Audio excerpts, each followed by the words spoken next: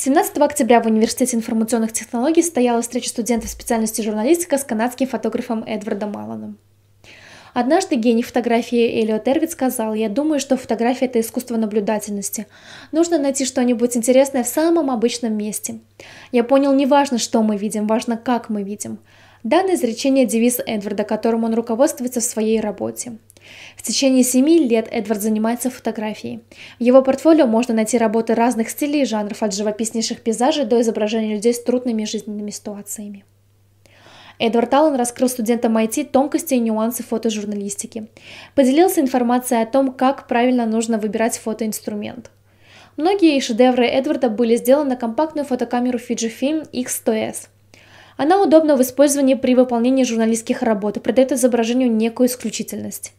А для заказов и профессиональной съемки канадские фотографы используют Canon 5D Mark II.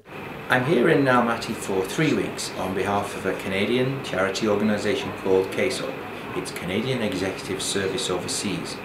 And uh, they uh, pair up people with business skills and send them to locations in developing or third world countries uh, to help uh, develop the business infrastructure of the, of, uh, of the places we visit uh, with, the, with, with the drive of helping create long-term sustainable economic development.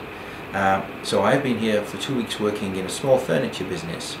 Uh, my assignment finished a couple of days ago now and, and now I have three or four days left just for myself and my camera to wander the streets of this town.